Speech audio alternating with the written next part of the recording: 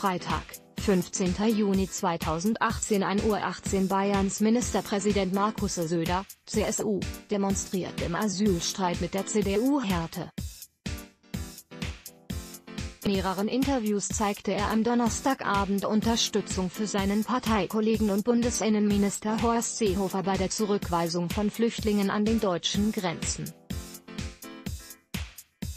Die Menschen in Deutschland erwarten endlich eine echte Asylwende, eine Wende in der Flüchtlingspolitik, sagte Söder im ZDF heute Journal.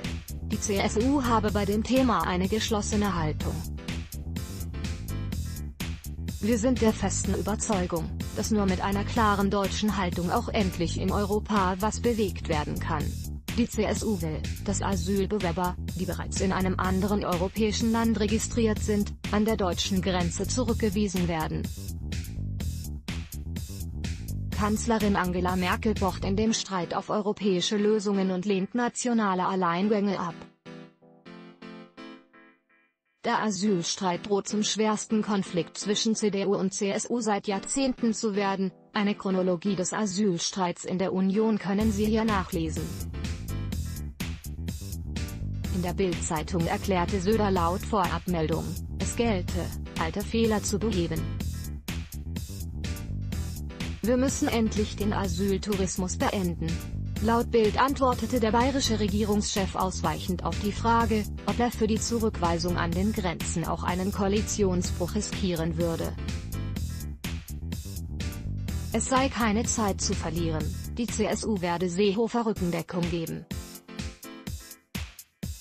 Auch in einem Interview der ARD Tagesthemen wurden Söder danach gefragt, ob die CSU an dieser Frage die Koalition zerbrechen lassen würde. Seine ausweichende Antwort, wir wollen auf keinen Fall riskieren, Glaubwürdigkeit zu verlieren. Denn ich glaube, das ist heute das Wichtigste. Es geht dabei nicht um die Landtagswahl im Oktober sondern um eine tiefe Vertrauenskrise in die etablierte Politik. Deswegen müsse die strengere Asylpolitik jetzt umgesetzt werden.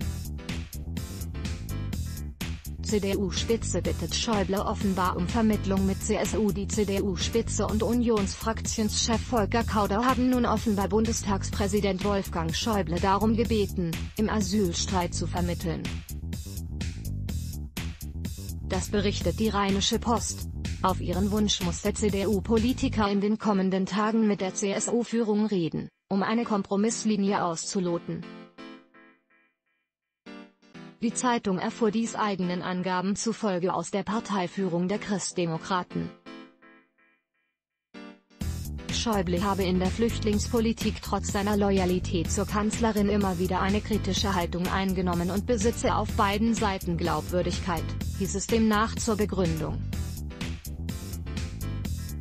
Zu einem Gespräch zwischen Kauder, CDU, und CSU-Landesgruppenchef Alexander Dobrin soll es demnach erst am Montag nach den Parteigremiensitzungen kommen. Video, CSU konfrontiert Kanzlerin Merkel mit Fristvideo Ronald Wittek FHFRX Shutterstock Das Flüchtlingshilfswerk der Vereinten Nationen, UNHA, forderte Berlin zu einer europäischen Lösung auf.